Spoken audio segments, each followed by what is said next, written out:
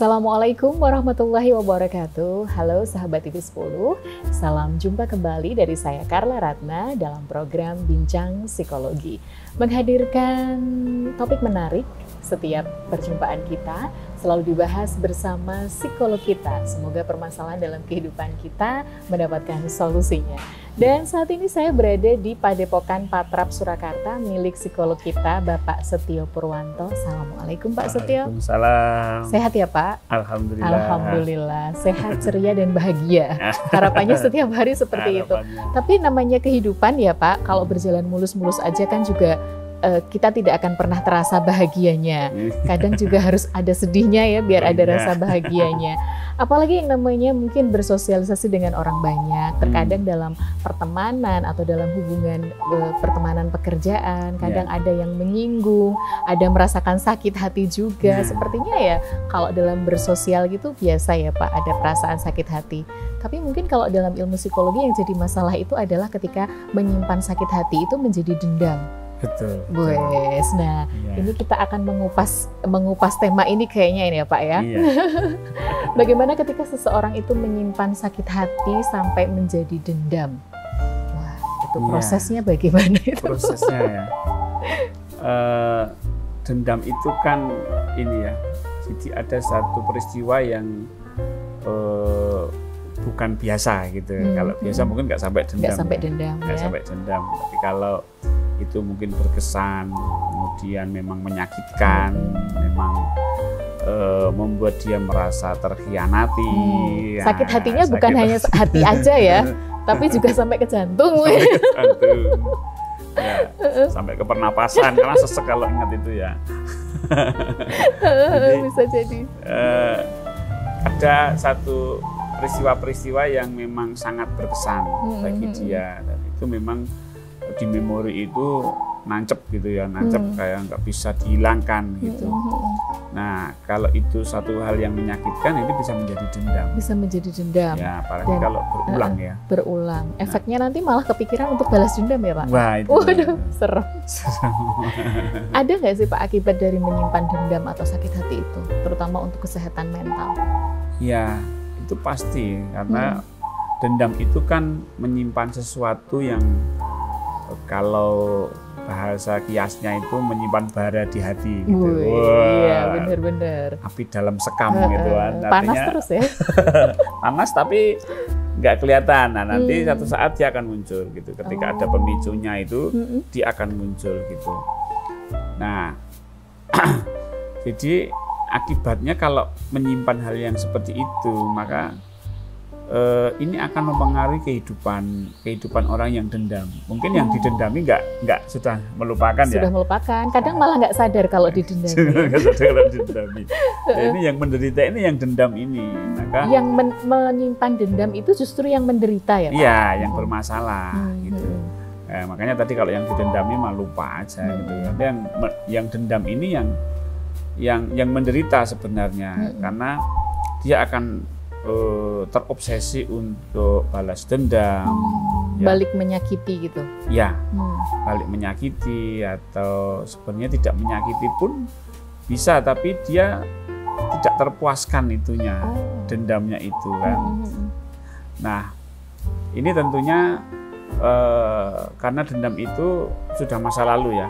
Dendam itu mestinya dia kejadiannya itu sudah masa lalu hmm. kejadiannya. Nah, terjadinya terjadinya dendam itu kan sekarang. Nah, apa yang terjadi di masa lalu itu mestinya kan dia tersimpan di dalam memori bawah sadar dia. Jadi, oh, iya. ketika itu sudah terjadi di bawah sadarnya dia, maka itu akan mempengaruhi perilaku-perilaku yang sekarang ini. Mempengaruhi perilaku yang sekarang, ya. padahal itu di masa lalu ya. ya. Kejadiannya di masa kejadiannya lalu di karena masa masih lalu. ada dendam itu. Mm -mm. Nah, perilakunya kadang-kadang uh, jadinya menyimpang begitu.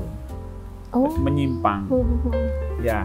Contohlah misalnya ini uh, seorang perempuan ya, mm-hmm. wanita gitu ya, uh, ketika uh, kenalan dengan laki-laki, akhirnya akrab, akhirnya jadi pacar, calon ini, akhirnya dia mengkhianati si laki-laki ini. Mm. Kemudian kenalan lagi dengan laki-laki, laki-lakinya apa khianat lagi. Hmm. kenalan dengan laki-laki yang lain lagi. Terulang lagi. Gitu lagi sampai tiga kali. Kemudian dia dendam sama semua laki-laki misalnya. Sama semua ya. Padahal tidak semua laki-laki tidak semua laki-laki. ini jadi muncul apa? Dendamnya sama laki-laki. Akhirnya itu mengganggu perilaku dia. Contoh misalnya sampai pada yang ekstrim ya, mm-hmm. sampai pada uh, orientasi seksualnya pun bisa jadi bisa berubah. Berubah. Oh. Iya. Awalnya iya, hetero, iya. jadi homo. Jadi homo. Ya. Mm-hmm. Nah ini ini kenapa kok misalnya dia kok bisa jadi homo ini kenapa gitu? Mm-hmm. Ternyata gara-gara dendam.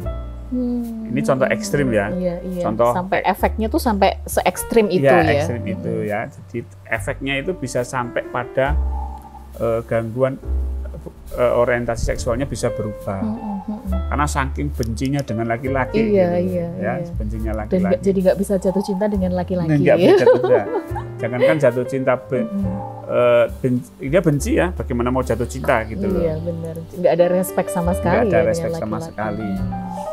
Nah uh, itu uh, contoh ekstrim sampai ke perubahan berlaku. Hal-hal yang yang simpel kadang-kadang kita dendam dengan seseorang itu misalnya e, bisa berakibat kita itu tiba-tiba jadi bad mood ya bad mood. Jadi tiba-tiba kok nggak enak tiba-tiba nggak nyaman gitu. Nah kita nggak tahu sebabnya. Orang nggak tahu sebabnya kenapa saya bisa bad mood seperti ini bisa uring-uringan bisa. Nah ternyata ada e, dendam-dendam yang masa lalu itu yang dia belum selesaikan. Oh, jadi bisa jadi orang yang menyimpan dendam itu pun tidak menyadari bahwa dia menyimpan dendam, begitukah?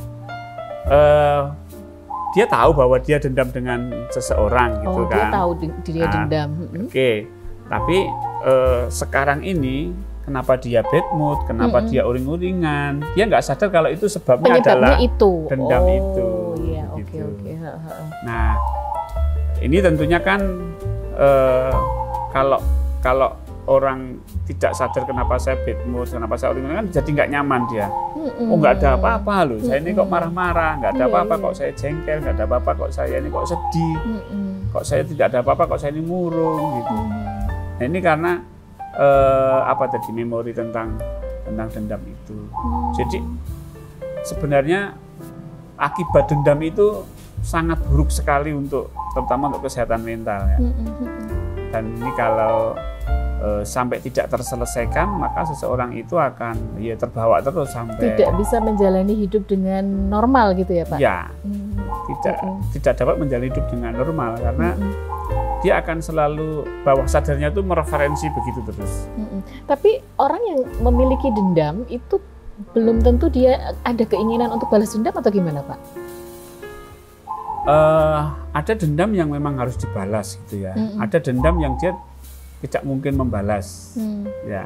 Tapi dia tidak bisa untuk memaafkan. Jadi dia sampai mati tetap aku akan uh, dendam sama dia. Itu sudah mm. menjadi tekadnya dia. Mm -hmm. Nah, ya uh, untuk orang-orang yang seperti itu memang susah ya. Yeah. Memang susah ya.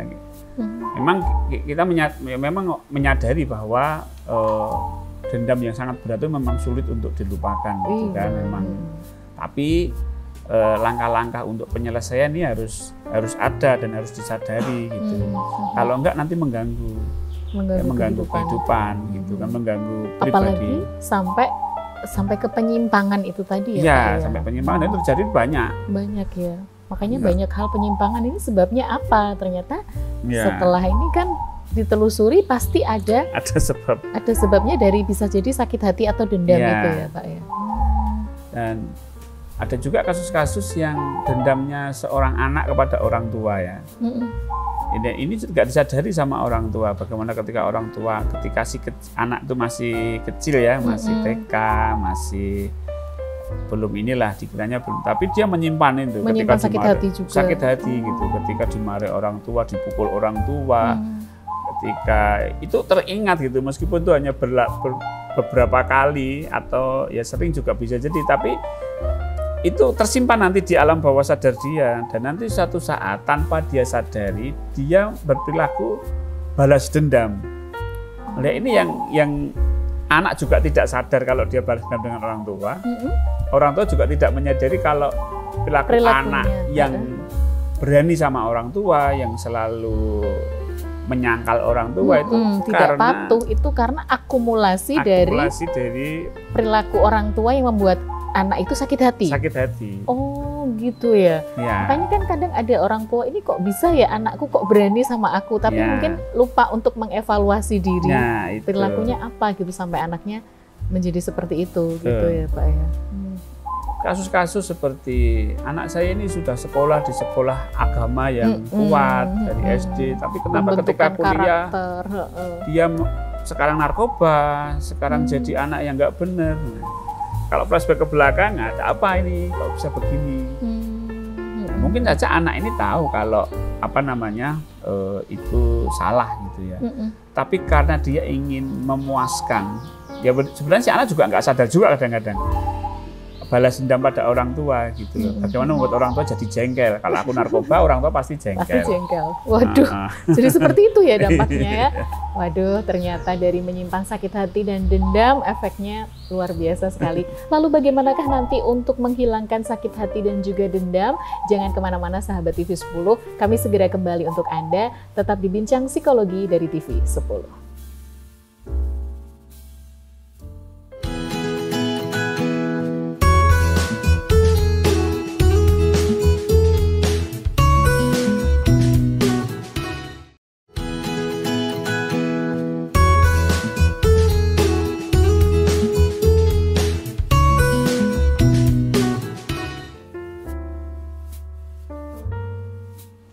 Terima kasih Anda masih bersama kami di Bincang Psikologi dari TV 10 dan saat ini Carla juga Pak Setio masih berada di Padepokan Patrap Surakarta bersama psikolog kita Bapak Setio Purwanto. Di kesempatan kali ini kita tengah membahas tentang sakit hati dan juga dendam ya Pak. Yeah. Efeknya ada yang tidak menyadari bahwa itu adalah akibat dari dendam di masa lalu, hmm. tapi ada juga yang justru masih menyimpan bara untuk membalas dendam. Padahal kalau dipikir-pikir sebenarnya membalas dendam itu juga tidak bisa memuaskan dendamnya itu terus selesai gitu kan enggak ya Pak ya? Atau gimana? Iya. Uh, sebenarnya dendam itu kalau kalau terpuaskan, -hmm. oke okay lah terpuaskan gitu dan -hmm. dia sudah tidak mau membalas lagi. Tapi kan efeknya ya efeknya. Efeknya. Hmm. efeknya kan jadi tambah panjang. Hmm. mungkin uh, dia balas dendam misalnya hmm. mukul atau membunuh balik mukul atau, kan. tapi kan ya nanti efeknya orang-orang yang itu kan jadi kena hmm. balas dendam lagi jadi balas saling dendam lagi. jadi rantainya nggak selesai selesai nggak selesai selesai okay.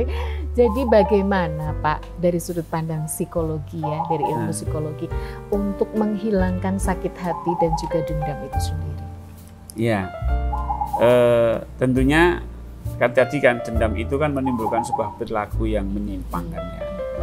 Nah, alhamdulillah kalau misalnya sudah sadar bahwa itu karena dendam masa lalunya, hmm. Nah berarti sudah ketahuan sebabnya. Sebab saya apa namanya eh, berperilaku yang nggak benar ini karena dendam saya. Hmm.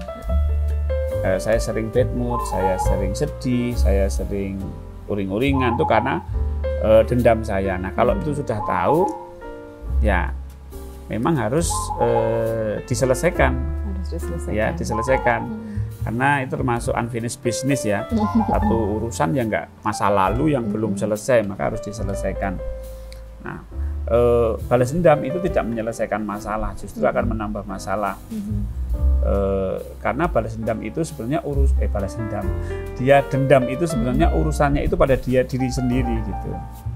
Mungkin oh balas dendam itu dengan urusannya dengan diri sendiri ya. Dendam tidak, ya, bukan dendam. balas dendam oh, ya. Dendam itu urusannya dendam dengan diri sendiri. Diri sendiri gitu loh, tidak ada hubungannya dengan orang lain. Orang yang sudah menyakiti pun tidak ada kaitannya ya. Uh, ya yang dendam dia, masuk dia yang menyuruh dia minta maaf kan nggak bisa oh, ya. Bisa. Kecuali saya yang berbuat salah, hmm. kemudian misalnya saya berbuat salah dengan Mbak Carla, kemudian hmm. Mbak Carla uh, dendam sama saya kemudian saya minta maaf gitu hmm. gitu kan. Tapi kan mbak Kana nggak bisa minta saya untuk minta iya, maaf. kamu bisa. minta maaf dong sama kamu, saya. aku dendam nih kamu minta maaf ya sama saya. Kan nggak bisa begitu ya. Nah uh, ini urusannya dengan diri kita sendiri yang -hmm. yang urusannya dengan dendam itu dengan diri diri kita sendiri. Karena ini terkait dengan masa lalu saya masa lalu misalnya saya dendam ya masa lalu saya dengan pengalaman masa lalu ya orang-orang yang terkait pun sudah nggak tahu ke mana, hmm. tapi saya masih teringat aja. Nah, eh, langkah pertama tentunya kita harus menyadari tentang perasaan-perasaan kita akibat dendam itu ya. Hmm. Menyadari kalau saya ingat itu jengkel, oh saya jengkel. Jadi rasa dendamnya itu betul-betul disadari gitu loh. Jadi hmm. biar dia itu keluar. Hmm. Ya biar biar dia keluar bebas ke dalam diri saya. Hmm. Dah kalau kamu dendam rasanya apa terserah, ayo. ya, ditantang ya. Ditantang, ayo keluar dendamnya. Tapi kan itu dalam ini ya dalam ranah emosional ya, mm -mm. bukan terus mukul-mukul gitu. Ya. Jadi tidak dilampiaskan. Jadi hanya hanya terhenti kepada wilayah emosional. Menyadari gitu ya nah, bahwa perasaannya tuh seperti ini. Oh, gitu perasaan ya. seperti ini. Hmm. Jadi memang rasanya dendam itu harus diakui gitu. Kita harus hmm. mengakui, jangan sampai kita nggak mau dendam, oh, nyatanya dendam, nyatanya gitu. dendam. Dendam. Atau ngapain sih umat Islam kan nggak boleh dendam? Hmm. Iya, tapi kalau untuk urusan kita ini perlu pelepasan gitu loh. Kalau hmm. kita dendam, kalau selalu kita simpan, ya nggak selesai-selesai. Hmm. Tapi keluarkan dalam sebatas emosional kita saja. Hmm. Oke, dendam rasanya gimana sih dendam? Oke, ingat-ingat. Oh, kalau saya ingat dia, saya dendam. Oke. Nah, yang kedua itu tadi ya berani menghadapi emosional kita sendiri. Gitu. Hmm. Nah, dendam itu kan nggak enak ya. Iya. Dendam itu nggak enak, apalagi kalau muncul. Nah, itu harus berani kita menghadapi.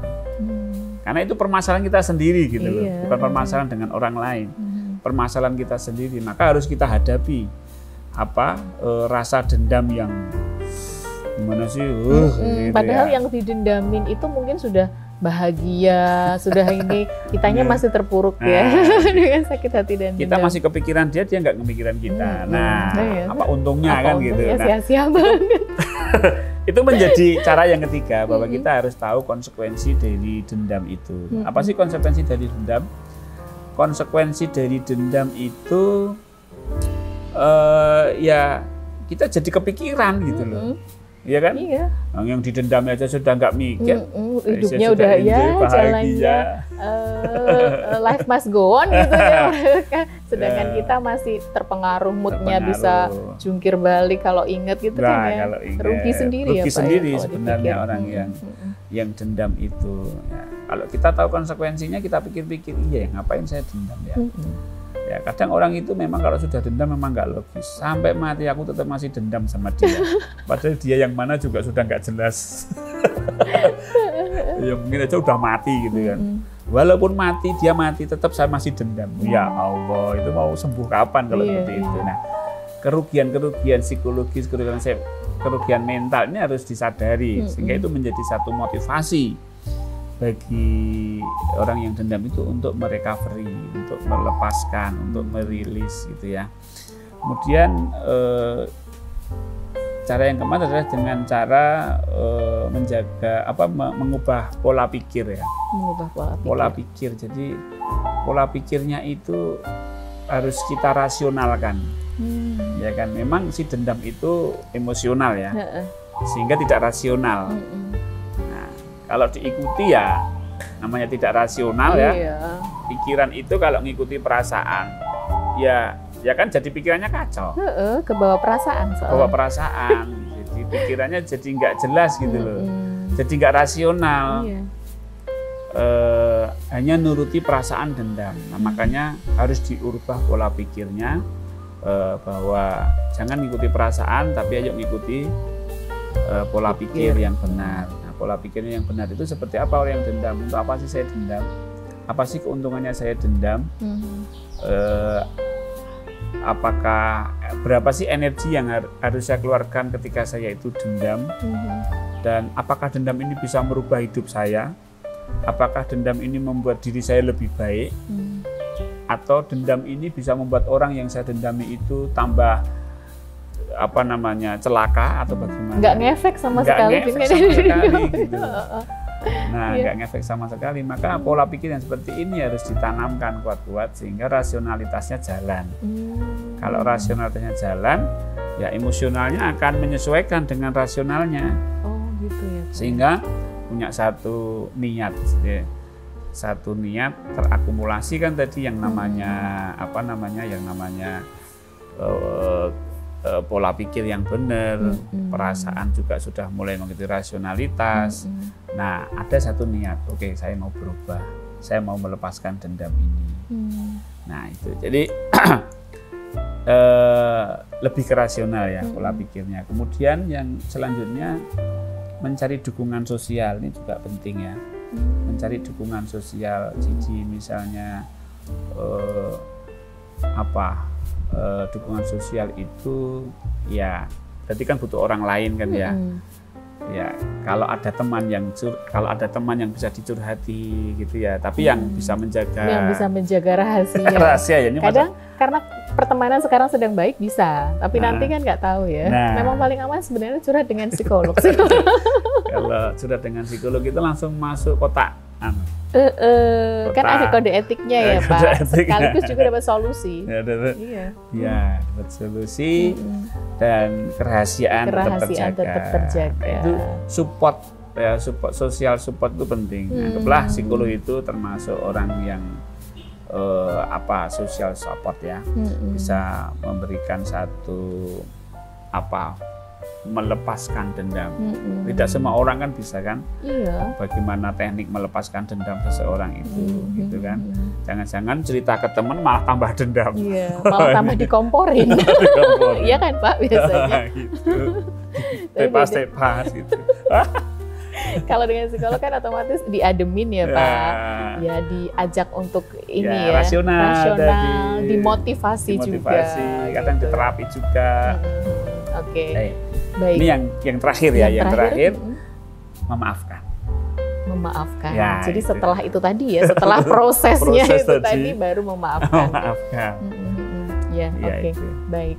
Nanti kapan-kapan kita bahas tentang yang memaafkan ya, Pak ya. Ini juga harus diulik lebih dalam soalnya. Iya. Sebelum berpisah, Pak, uh, ada yang mau disampaikan pada sahabat TV 10 terkait dengan tema kita hari ini? Iya, eh, yang namanya dendam itu apa sesuatu hal yang sudah tertanam ya. Itu karena pengalaman kejadian yang mungkin tidak kita eh, kehendaki sehingga kita muncul dendam. Tapi menyimpan dendam itu akan lebih merugikan kita sendiri. Jadi mari kita merecovery diri kita memperbaiki diri kita kita bersihkan hati kita dari dendam-dendam sehingga hidup kita menjadi lebih bahagia. Wis, eh, bersihkan hati dari dendam-dendam ya.